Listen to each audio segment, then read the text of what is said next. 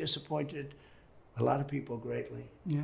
Let me ask you as we wrap up here uh, the God question, if you will. Look, there are so many evangelicals that saw you. Uh, when you were president, it was a divine appointment. They, they saw it as, as for such a time as this.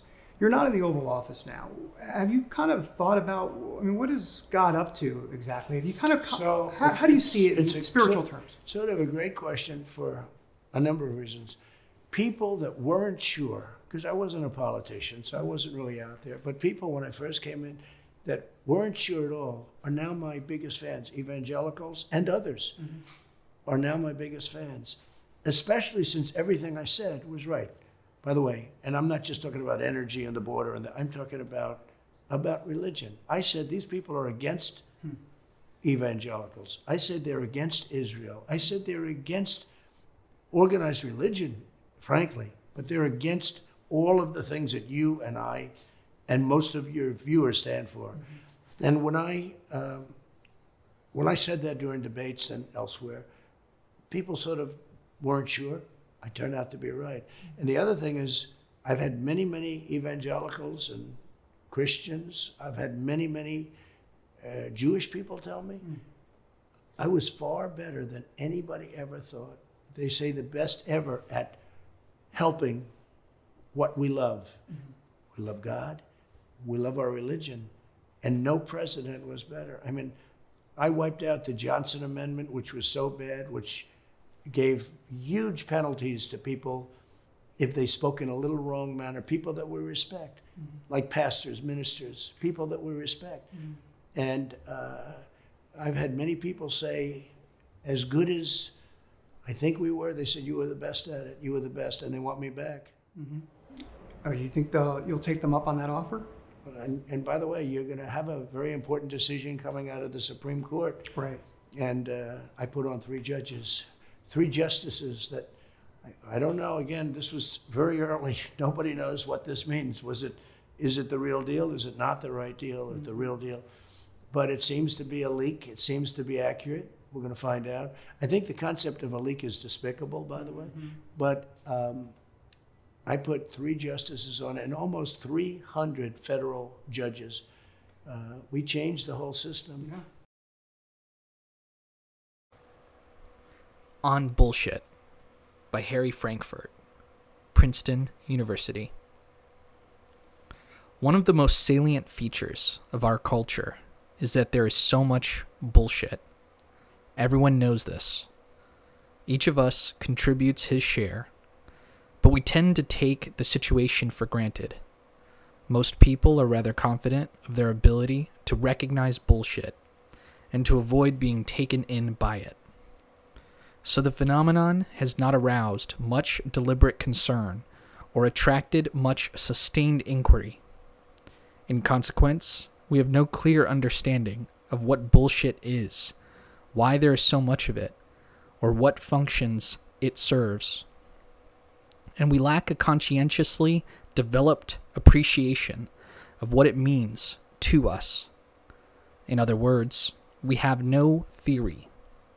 I propose to begin the development of a theoretical understanding of bullshit, mainly by providing some tentative and exploratory philosophical analysis. I shall not consider the rhetorical uses and misuses of bullshit. My aim is simply to give a rough account of what bullshit is and how it differs from what it is not, or putting it somewhat differently, to articulate more or less sketchily the structure of its concept. Any suggestion about what conditions are logically both necessary and sufficient for the constitution of bullshit is bound to be somewhat arbitrary. For one thing, the expression bullshit is often employed quite loosely, simply as a generic term of abuse, with no very specific literal meaning. For another, the phenomenon itself is so vast and amorphous that no crisp or perspicuous analysis of its concept can avoid being Procrustean. Nonetheless, it should be possible to say something helpful, even though it is not likely to be decisive. Even the most basic and preliminary questions about bullshit remain, after all, not only unanswered, but unasked. So far as I'm aware, very little work has been done on the subject. I have not undertaken a survey of the literature, partly because I do not know how to go about it. To be sure, there is one quite obvious place to look the Oxford English Dictionary. The OED has an entry for bullshit in the supplementary volumes, and it has entries for various pertinent uses of the word bull and for some related term. I shall consider some of these entries in due course. I have not consulted dictionaries in languages other than English because I do not know the words for bullshit or bull in any other language. Another worthwhile source is the title essay in The Prevalence of Humbug by Max Black. I am uncertain just how close in meaning the word humbug is to the word bullshit. Of course, the words are not freely and fully interchangeable. It is clear that, the, that they are used differently. But the difference appears on the whole to have more to do with considerations of gentility and certain other rhetorical parameters than with the strictly literal modes of significance that concern me most. It is more polite, as well as less intense, to say humbug than to say bullshit. For the sake of this discussion, I shall assume that there is no other important differences between the two. Black suggests a number of synonyms for humbug, including the following balderdash, claptrap, hokum, drivel, bunkum, imposture, and quackery. This list of quaint equivalents is not very helpful, but Black also confronts the problem of establishing the nature of humbug more directly, and he offers the following formal definition Humbug. Deceptive misrepresentation, short of lying, especially by pretentious word or deed, of somebody's own thoughts, feelings, or attitudes. A very similar formulation might plausibly be offered as enunciating the essential characteristics of bullshit. As a preliminary for, to developing an independent account of those characteristics, I will comment on the various elements of Black's definition. Deceptive misrepresentation. This may sound pleonastic. No doubt what Black has in mind is that humbug is necessarily designed or intended to deceive, that its misrepresentation is not merely inadvertent. In other words, it is deliberate misrepresentation.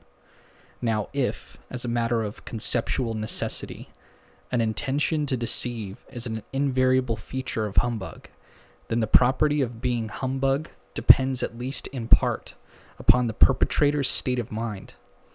It cannot be identical, accordingly, with any properties, either inherent or relational, belonging to just to the utterance by which the humbug is perpetrated.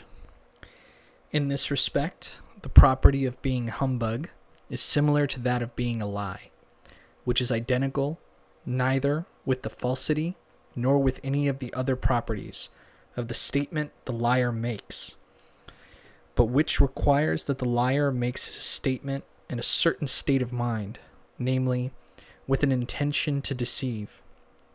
It is a further question whether there are any features essential to humbug or to lying that are not dependent upon the intentions and beliefs of the person responsible for the humbug or the lie, or whether it is, on the contrary, possible for any utterance whatsoever to be, given that the speaker is in a state, certain state of mind, a vehicle of humbug or of a lie. In some accounts of lying, there is no lie unless a false statement is made. In others, a person may be lying, even if the statement he makes is true, as long as he himself believes that the statement is false and intends by making it to deceive. What about humbug and bullshit? May any utterance at all qualify as humbug or bullshit, given that, so to speak, the utterer's heart is in the right place, or must the utterance have certain characteristics of its own as well? Short of lying, it must be part of the point of saying that humbug is short of lying. That while it has some of the distinguishing characteristics of lies, that there are others that it lacks. But this cannot be the whole point.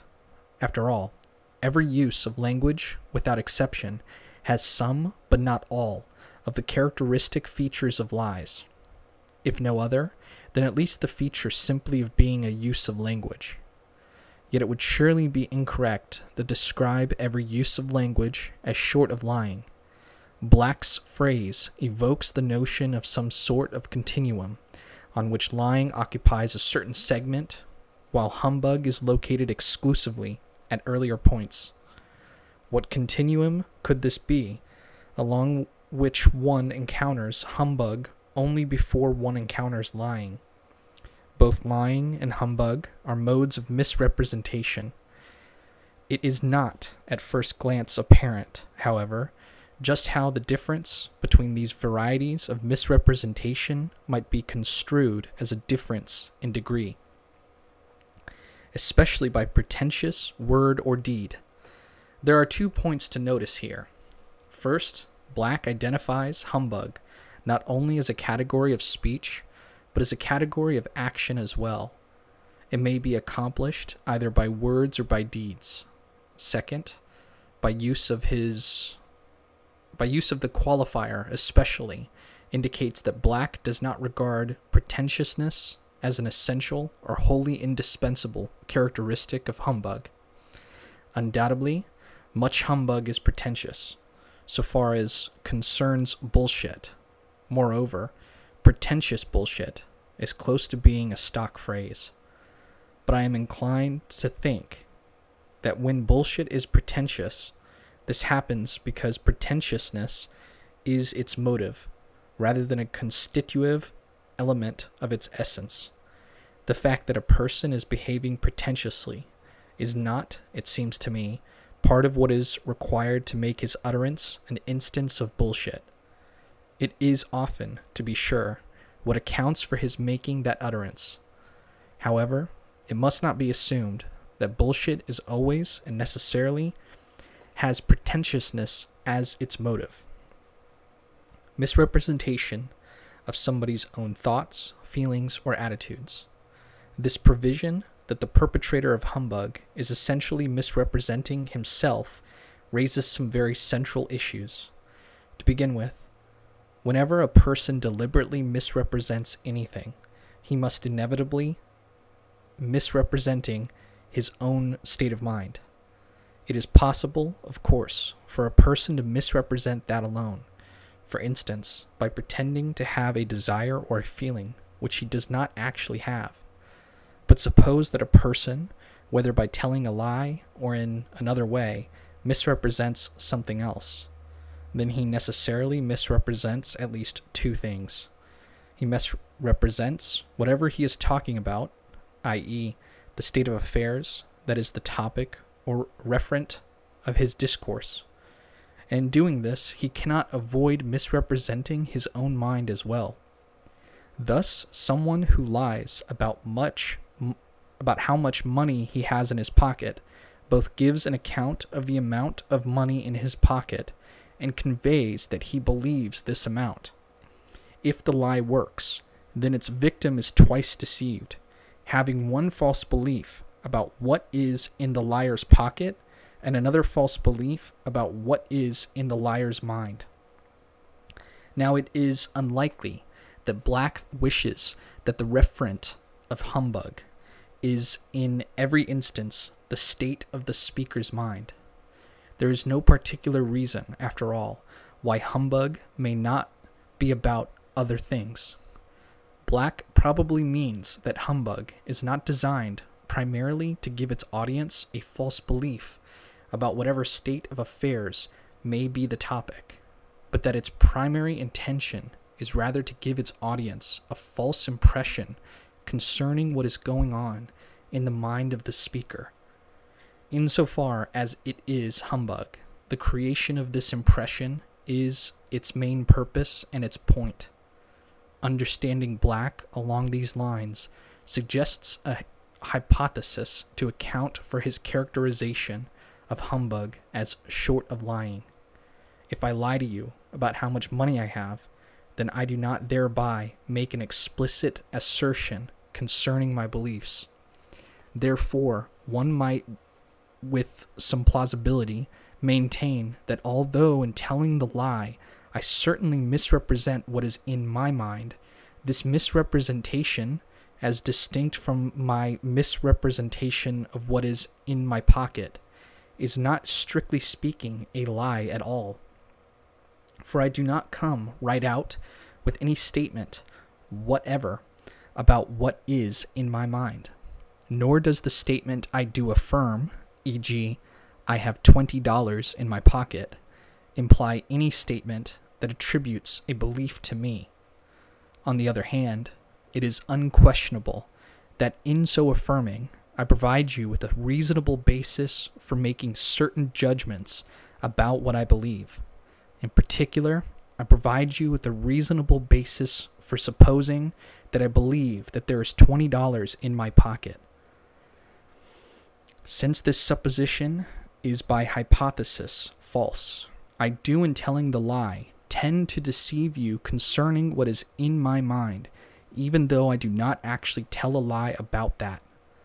In this light, it does not seem unnatural or inappropriate to regard me as misrepresenting my own beliefs in a way that is short of lying.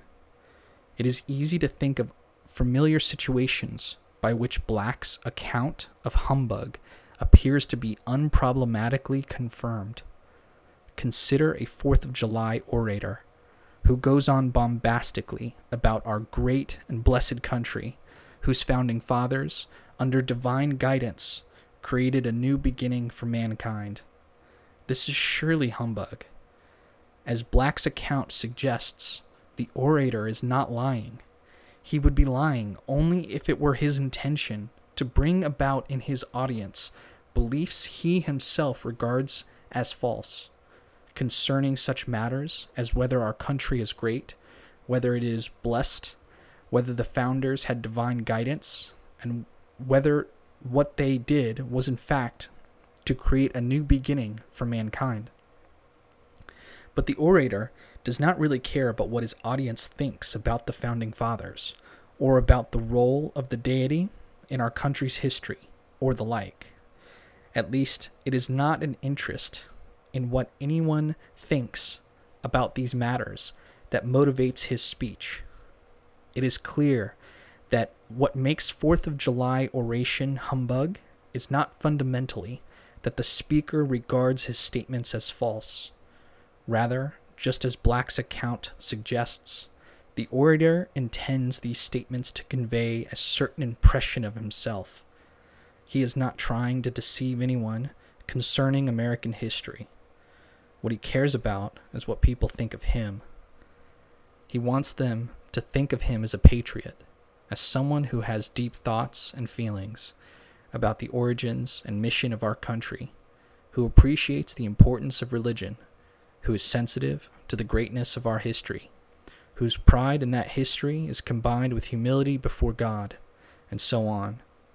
Black's account of humbug appears, then, to fit certain paradigms quite snugly. Nonetheless, I do not believe that it is adequately or accurately grasps the essential character of bullshit. It is correct to say of bullshit, as he says of humbug, both that it is short of lying and that shows who perpetuate it misrepresent themselves in a certain way. But Black's account of these two features is significantly off the mark. I shall next attempt to develop by considering some biographical material pertaining to Ludwig Wittgenstein, a preliminary but accurately focused appreciation of just what the central characteristics of bullshit are. Wittgenstein once said that the following bit of verse by Longfellow could serve him as a motto. In the elder days of art, builders wrought with greatest care each minute an unseen part, for the gods are everywhere. The point of these lines is clear. In the old days, craftsmen did not cut corners. They worked carefully and they took care with every aspect of their work. Every part of the product was considered, and each was designed and made to be exactly as it should be. These craftsmen did not relax their thoughtful self discipline, even with respect to features of their work, which would ordinarily not be visible. Although no one would notice if these features were not quite right, the craftsmen would be bothered by their consciences. So nothing was swept under the rug. Or, one might perhaps also say, there was no bullshit. It does seem fitting to construe carelessly made, shoddy goods as in some way analogous of bullshit. But in what way?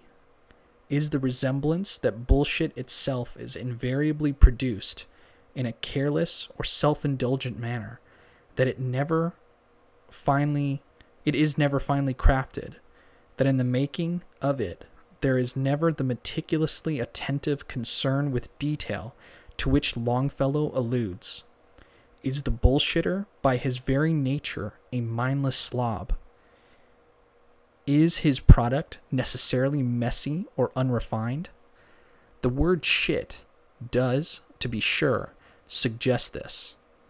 Excrement is not designed or crafted at all. It is merely emitted or dumped. It may have a more or less coherent shape, or it may not, but it is, in any case, certainly not rot. The notion of carefully wrought bullshit involves then a certain inner strain. Thoughtful attention to detail requires discipline and objectivity. It entails accepting standards and limitations that forbid the indulgence of impulse or whim. It is this selflessness that, in connection with bullshit, strikes us as inapposite. But in fact, it is not out of the question at all. The realms of advertising and of public relations, and the nowadays closely related realm of politics, are replete with instances of bullshit so unmitigated that they can serve among the most indisputable and classic paradigms of the concept. And in these realms, there are exquisitively sophisticated craftsmen who, with the help of advanced and demanding techniques of market research, of public opinion polling, of psychological testing, and so forth, dedicate themselves tirelessly to getting every word and image they produce exactly right. Yet there is something more to be said about this.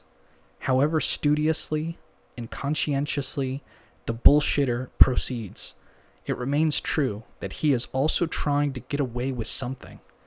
There is surely in his work, as in the work of the slovenly craftsman, some kind of laxity which resists or eludes the demands of a disinterested and austere discipline. The pertinent mode of laxity cannot be equated, evidently, with simple carelessness or inattention to detail. I shall attempt in due course to locate it more correctly. Wittgenstein devoted his philosophical energies largely to identifying and combating what he regarded as insidiously disruptive forms of nonsense. He was apparently like that in his personal life as well. This comes out in an anecdote related by Fania Pascal, who knew him in Cambridge in the 1930s. I had my tonsils out and was in the Evelyn nursing home feeling sorry for myself. Wittgenstein called. I croaked. I feel like a dog that has been run over. He was disgusted. You don't know what a dog that has been run over feels like.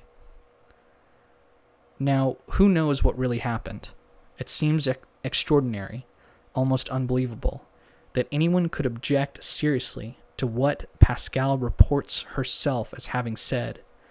that characterization of her feelings so innocently close to the utterly commonplace sick as a dog is simply not provocative enough to arouse any response as lively or intense as disgust.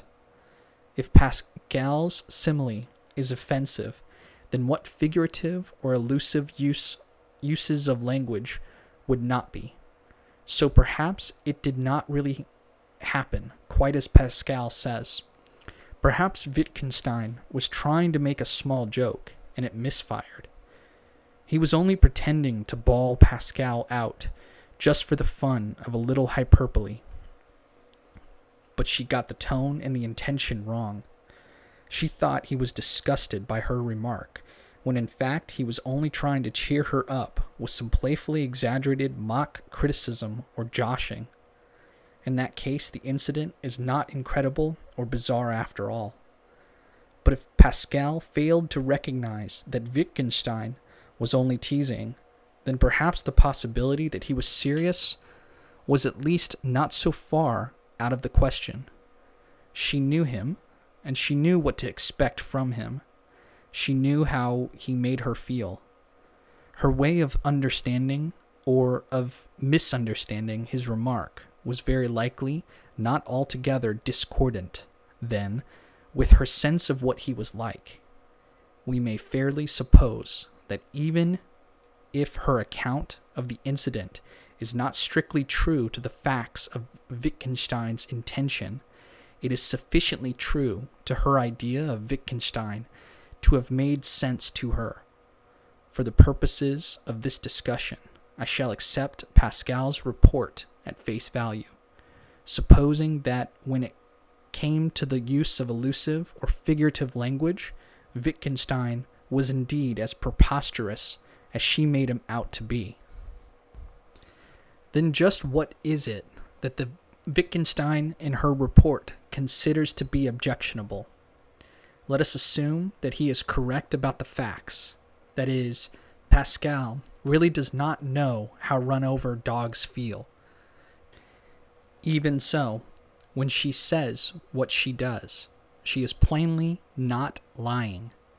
She would have been lying if, when she made her statement, she was aware that she actually felt quite good.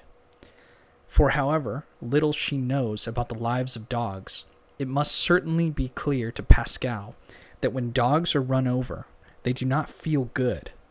So if she herself had been in fact feeling good, it would have been a lie to assert that she felt like a run over dog. Pascal's Wittgenstein does not intend to accuse her of lying, but of misrepresentation of another sort. She characterizes her feeling as the feeling of a run over dog. She is not really acquaint- acquainted, however, with the feeling to which this phrase refers. Of course, the feeling is far from being complete nonsense to her. She is hardly speaking gibberish. What she says has an intelligent connotation, which she certainly understands. Moreover, she does know something about the quality of the feeling to which the phrase refers. She knows at least that it is an undesirable and unenjoyable feeling, a bad feeling.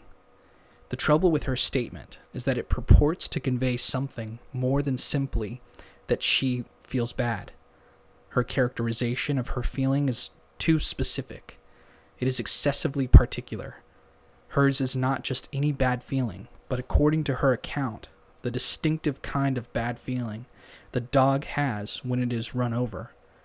To the Wittgenstein and Pascal story, judging from his response, this is just bullshit. Now, assuming that Wittgenstein does indeed regard Pascal's characterization of how she feels as an instance of bullshit, why does it strike him that way? It does so, I believe, because he perceives what Pascal says as being, roughly speaking, for now, unconnected to a concern with the truth. Her statement is not germane to the enterprise of describing reality.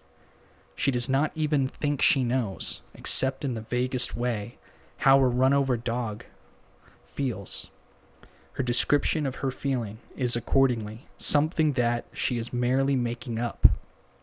She concocts it out of whole cloth, or if she got it from someone else, she is repeating it quite mindlessly and without any regard for how things really are.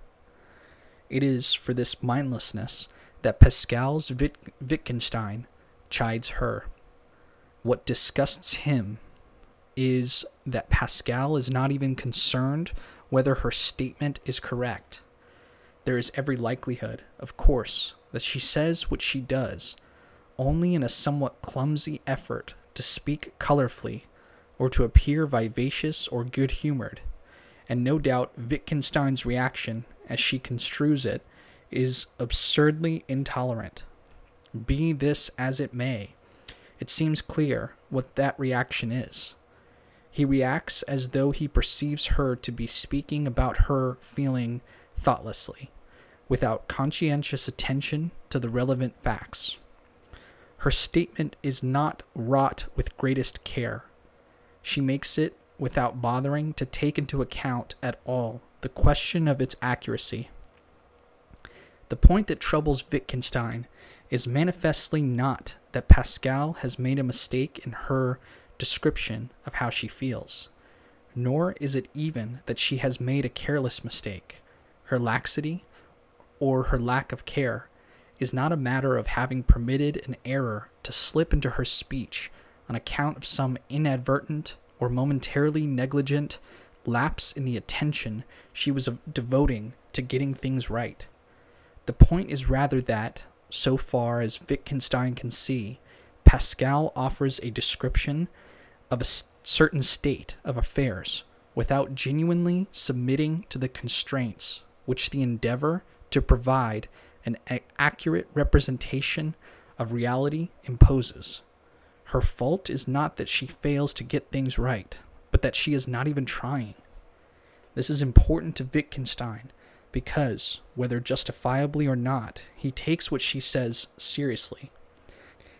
As a statement purport, purporting to give an informative description of the way she feels, he construes her as engaged in an activity to which the distinction between what is true and what is false is crucial and yet as taking no interest in whether she what she says is true or false. It is in this sense that Pascal's statement is unconnected to a concern with truth. She is not concerned with the truth value of what she says. This is why she cannot be regarded as lying, for she does not presume that she knows the truth, and therefore she cannot be deliberately promulgating a proposition that she presumes to be false. Her statement is grounded neither in a belief that is true nor, as a lie must be, in a belief that it is not true.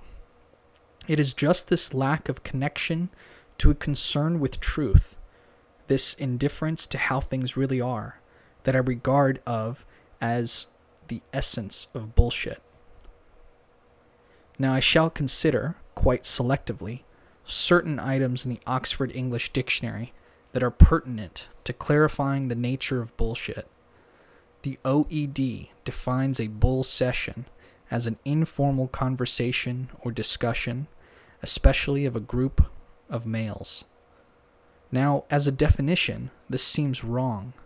For one thing, the dictionary evidently supposes that the use of the term bull in bull session serves primarily just to indicate gender. But even if it were true that the participants in bull sessions are generally or typically males, the assertion that a bull session is essentially nothing more particular than an informal discussion among males would be as far off the mark as the parallel assertion that a hen session is simply an informal conversation among females. It is probably true that the participants in hen sessions must be females. Nonetheless, the term hen session conveys something more specific than this concerning the particular kind of informal conversation among females to which hen sessions are characteristically devoted. What is distinctive about the sort of informal discussion among males that con- constitutes a bull session is, as it seems to me, something like this. While the discussion may be intense and significant, it is, in a certain respect, not for real.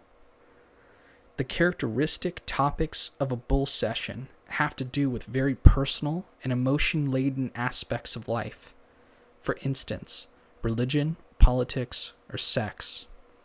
People are generally reluctant to speak altogether openly about these topics if they expect that they might be taken too seriously.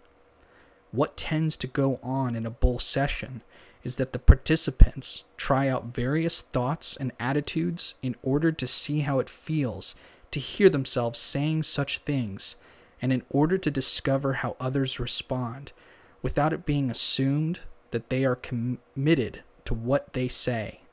It is understood by everyone in a bull session that the statements people make do not necessarily reveal what they really believe or how they really feel. The main point is to make possible a high level of candor and an experimental or adventuresome approach to the subjects under discussion. Therefore, provision is made for enjoying a certain irresponsibility so that people will be encouraged to convey what is on their minds without too much anxiety that they will be held to it. Each of the contributors to a bull session relies, in other words, upon a general recognition that what he expresses or says is not to be understood as being what he means wholeheartedly or believes unequivocally to be true. The purpose of the conversation is not to communicate beliefs. Accordingly, the usual assumptions about the connection between what people say and what they believe are suspended. The statements made in a bull session differ from bullshit in that there is no pretense that this connection is being sustained. They are like bullshit by virtue of the fact that they are in some degree unconstrained by a concern with truth. This resemblance between bull sessions and bullshit is suggested also by the term shooting the bull, which refers to the sort of conversation that characterizes bull sessions and in which the term shooting is very likely a cleaned up rendition of shitting. The very term bull session is indeed quite probably a sanitized version of bullshit session. A similar theme is discernible in a British usage of bull, in which, according to the OED, the term refers to unnecessary routine tasks or ceremonial, excessive discipline, or spit and polish equals red tape. The dictionary provides the following examples of this usage. The squadron felt very bullshy about all that bull was that was flying around the station. Gleed, Arise to Conquer, 1942. Them turning out the guard for us, us marching past eyes right, all that sort of bull. A. Baron, Humankind, 178, 1953. The Drudgery and Bull in an MP's Life, Economist, 8, February, 1958.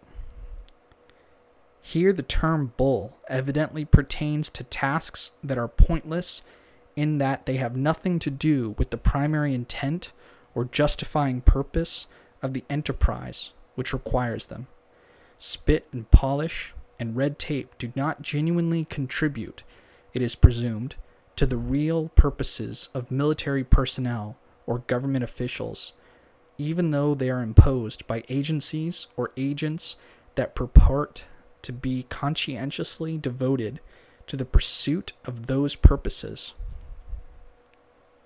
Thus, the unnecessary routine tasks or ceremonial that constitute bull are disconnected from the, the legitimating motives of the activity upon which they intrude, just as the things people say in bull sessions are disconnected from their settled beliefs, and as bullshit is disconnected from a concern with the truth.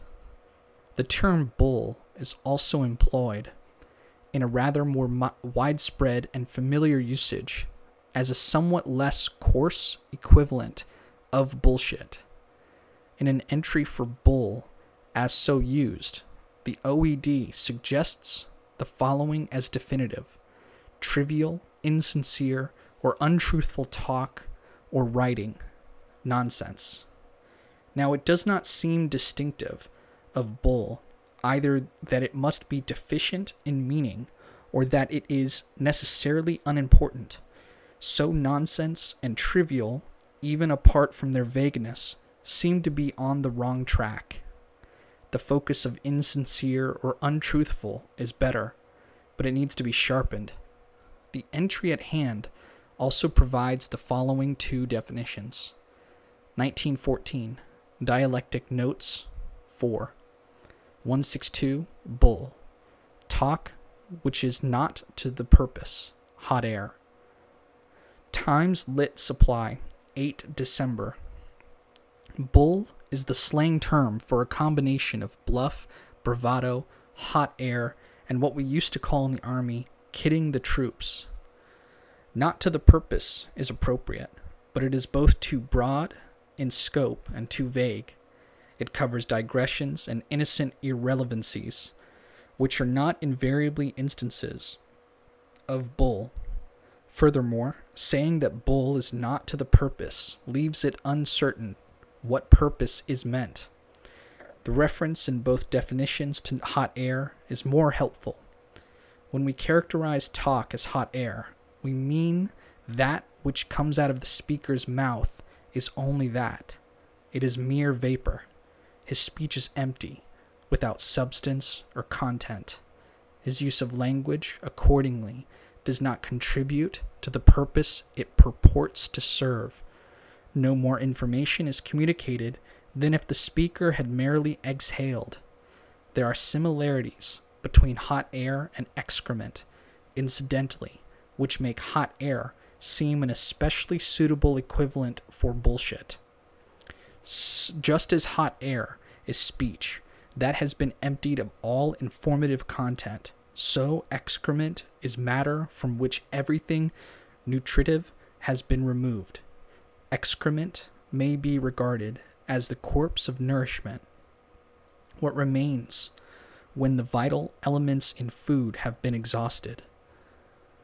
In this respect, excrement is a representation of death which we ourselves produce, and which, indeed, we cannot help producing in the very process of maintaining our lives.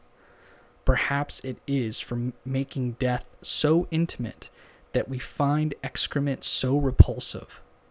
In any event, it cannot serve the purposes of sustenance any more than hot air can serve those of communication. Now consider these lines from Pound's Canto, which the OED cites in its entry on bullshit as a verb. Hey snag wotes in the Bible. Wotes are the books of the Bible. Name 'em, don't bullshit me. This is a call for the facts.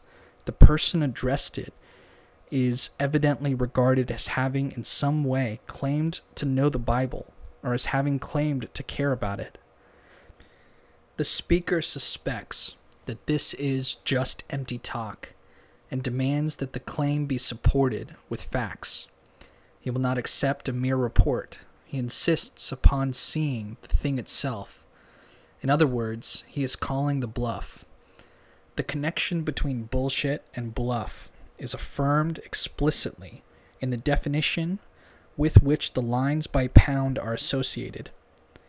As V truns and inch to talk nonsense, to also to bluff one's way through something by talking nonsense. It does seem that bullshitting involves a kind of bluff. It is closer to bluffing, surely, than to telling a lie. But what is implied concerning its nature by the fact that it is more like the former than it is like the latter. Just what is the relevant difference here between a bluff and a lie? Lying and bluffing are both modes of misrepresentation or deception. Now, the concept most central to the distinctive nature of a lie is that of falsity. The liar is essentially someone who deliberately promulgates a falsehood. Bluffing, too, is typically devoted to conveying something false. Unlike plain lying, however, it is more especially a matter not of falsity, but of fakery. That is what accounts for its nearness to bullshit. For the essence of bullshit is not that it is false, but it is phony. In order to appreciate this distinction, one must recognize that a fake or a phony need not be in any respect, apart from authenticity itself, inferior to the real thing. What is not genuine need not also be defective in some other way. It may be, how, after all, an exact copy. What is wrong with a counterfeit is not what it is like, but how it was made. This points to a similar and fundamental aspect of the essential nature of bullshit. Although it is produced without concern with the truth, it need not be false. The bullshitter is faking things, but this does not mean that he necessarily gets them wrong. In Eric Ambler's novel, Dirty Story, a character named Arthur Abdel Simpson recalls advice that he received as a child from his father. Although I was only seven when my father was killed, I still remember him very well and some of the things he used to say. One of the first things he taught me was never tell a lie when you can bullshit your way through. This presumes not only that there is an important difference between lying and bullshitting, but that the latter is preferable to the former. Now, the elder Simpson surely did not consider bullshitting morally superior to lying, nor is it likely that he regarded lies as invariably less effective than bullshit in accomplishing the purposes for which either of them might be employed. After all, an intelligently crafted lie may do its work with unqualified success. It may be that Simpson thought it easier to get away with bullshitting than with lying. Or perhaps he meant, although the risk of being caught is about the same in each case, the consequences of being caught are generally less severe for the bullshitter than for the liar. In fact, people do tend to be more tolerant of bullshit than of lies. Perhaps because we are less inclined to take the former as a personal affront. We may seek to distance ourselves from bullshit, but we are more likely to turn away from it with an impatient or irritated shrug than with the sense of violation or outrage that lies often inspire. The problem of understanding why our attitude toward bullshit is generally more benign than our attitude toward lying is an important one, which I shall leave as an exercise for the reader. The pertinent comparison is not, however, between telling a lie and producing some particular instance of bullshit.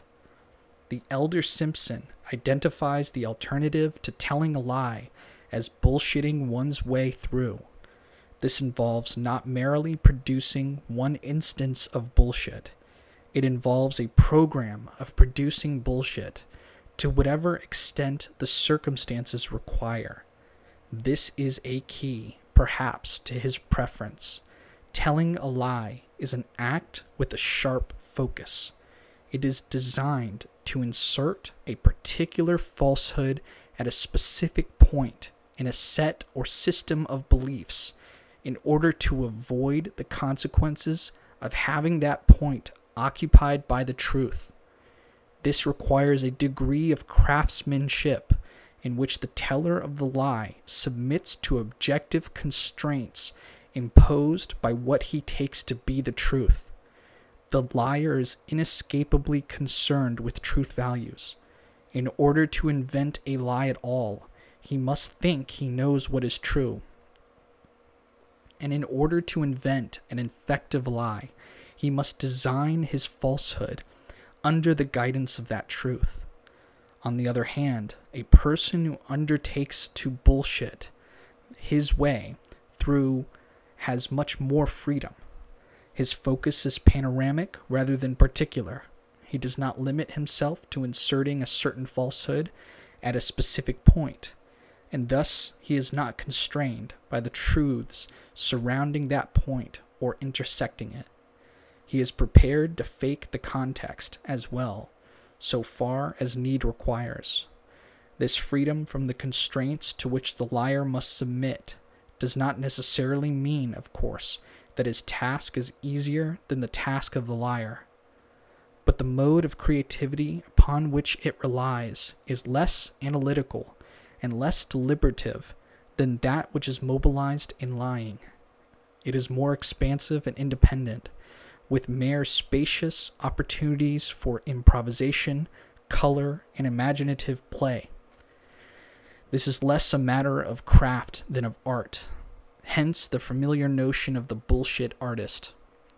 My guess is that the recommendation offered by Arthur Simpson's father reflects the fact that he was more strongly drawn to this model of creativity, regardless of its relative merit or effectiveness, than he was to the more austere and rigorous demands of lying. What bullshit essentially misrepresents is neither the state of affairs to which it refers nor the belief of the speaker concerning that state of affairs. Those are what lies misrepresent by virtue of being false. Since bullshit need not be false, it differs from lies in its misrepresentational intent. The bullshitter may not deceive us, or even intend to do so, either about the facts or about what he takes the facts to be. What he does necessarily attempt to deceive us about is his enterprise. His only indispensably distinctive characteristic is that in a certain way he misrepresents what he is up to. This is the crux of the distinction between him and the liar. Both he and the liar represent themselves falsely as endeavoring to communicate the truth. The success of each depends upon deceiving us about that. But the facts about himself that the liar hides that is that he is attempting to lead us away from a correct apprehension of reality. We are not to know that he wants us to believe something he supposes to be false. The fact about himself that the bullshitter hides on the other hand, is that the truth values of his statements are of no central interest to him. What we are not to understand is that his intention is neither to report the truth nor to conceal it. This does not mean that his speech is anarchically impulsive, but that the motive guiding and controlling it is unconcerned with how the things about which he speaks truly are. It is impossible for someone to lie unless he thinks he knows the truth. Producing bullshit requires no such conviction. A person who lies is thereby tell- responding to the truth, and he is to that extent respectful of it. When an honest man speaks, he says only what he believes to be true. And for the liar, it is correspondingly indispensable. He considers his statements to be false. For the bullshitter, however, all these bets are off. He is neither on the side of the true nor on the side of the false. His eye is not on the facts at all, as the eyes of the honest man and of the liar are, except insofar as they may be pertinent to his interest in getting away with what he says. He does not care whether the things he says describe reality correctly.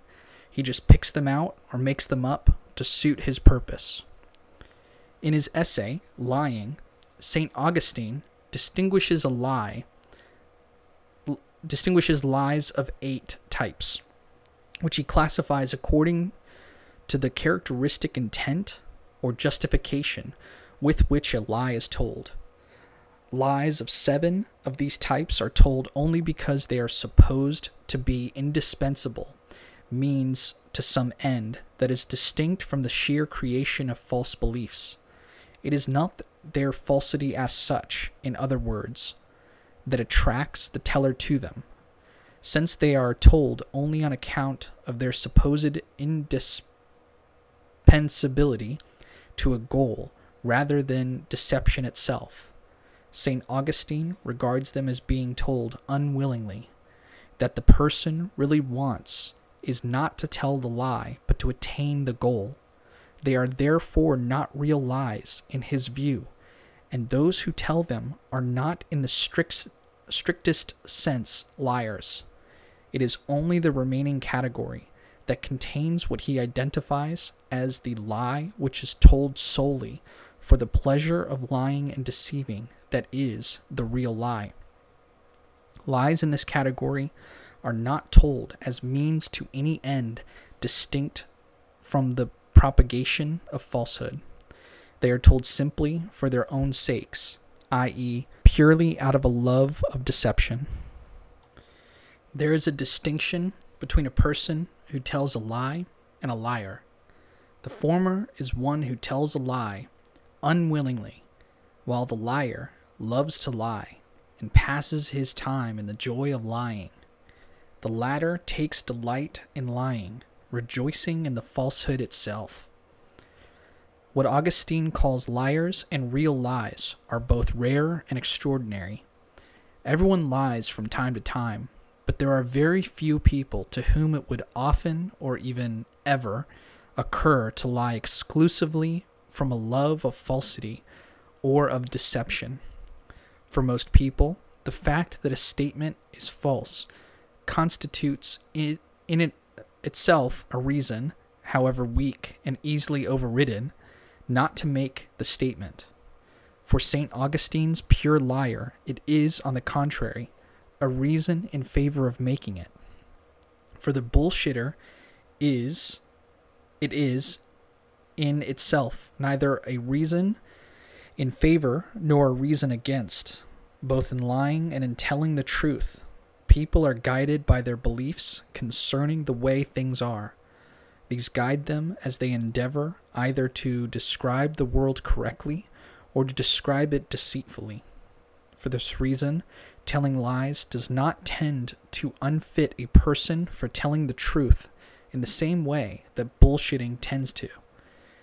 Through excessive indulgence in the latter activity, which involves making assertions without paying attention to anything except what it suits one to say, a person's normal habit of attending to the way things are may become attenuated or lost.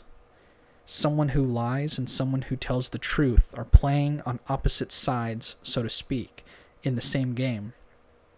Each responds to the facts as he understands them, although the response of the one is guided by the authority of the truth, while the response of the other defies that authority and refuses to meet its demands. The bullshitter ignores these demands altogether. He does not reject the authority of the truth, as the liar does, and oppose himself to it. He pays no attention to it at all. By virtue of this, bullshit is a greater enemy of the truth than lies are. One who is concerned to report or to conceal the facts assumes that there are indeed facts that are in some way both determinate and knowable.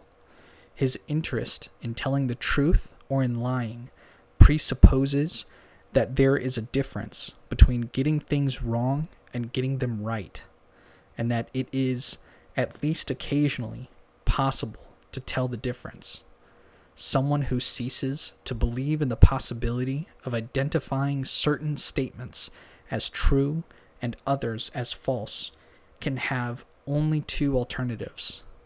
The first is to desist both from efforts to tell the truth and from efforts to deceive.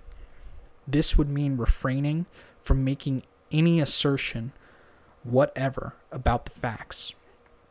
The second alternative is to continue making assertions that purport to describe the way things are, but that cannot be anything except bullshit. Why is there so much bullshit? Of course, it is impossible to be sure that there is relatively more of it nowadays than at other times. There is more communication of all kinds in our time than ever before, but the proportion of that is bullshit may not have increased. Without assuming that the incidence of bullshit is actually greater now, I will mention a few considerations that help to account for the fact that is it is currently so great. Bullshit is unavoidable whenever circumstances require someone to talk without knowing what he is talking about. Thus, the production of bullshit is stimulated whenever a person's obligations or opportunities to speak about some topic are more excessive than his knowledge of the facts that are relative to that topic. This discrepancy is common in public life, where people are frequently impelled, whether by their own propensities or by the demands of others, to speak extensively about matters of which they are to some degree ignorant. Closely related instances arise from the widespread conviction that it is the responsibility of a citizen in a democracy to have opinions about everything, or at least everything that pertains to the conduct of his country's affairs. The lack of any significant connection between a person's opinions and his apprehension of reality will even be more severe. Needless to say, for someone who believes it his responsibility as a conscientious moral agent to evaluate events and conditions in all parts of the world. The contemporary proliferation of bullshit also has deeper sources in various forms of skepticism which deny that we can have any reliable access to an objective reality and which therefore reject the possibility of knowing how things truly are. These anti realist doctrines undermined confidence in the value of disinterested efforts to determine what is true and what is false, and even in the intelligibility of the notion of objective inquiry.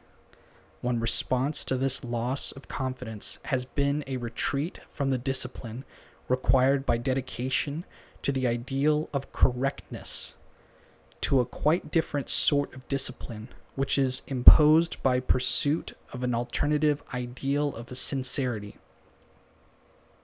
Rather than seeking primary, primarily to arrive at accurate representations of a common world, the individual turns toward trying to provide honest representations of himself convinced that reality has no inherent nature which he might hope to identify as the truth about things, he devotes himself to being true to his own nature.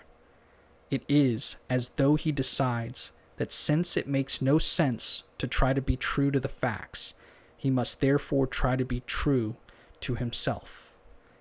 But it is preposterous to imagine that we ourselves are determinate and hence susceptible both to correct and to incorrect descriptions, while supposing that the ascription of determinacy to anything else has been exposed as a mistake.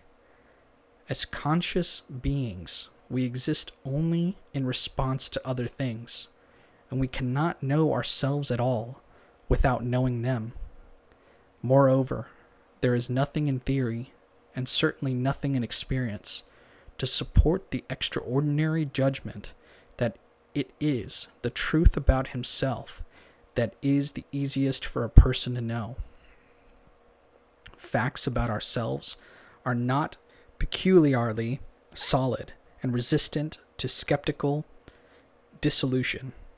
Our natures are, indeed, elusively insubstantial notoriously less stable and less inherent than the natures of other things. And insofar as this is the case, sincerity itself is bullshit.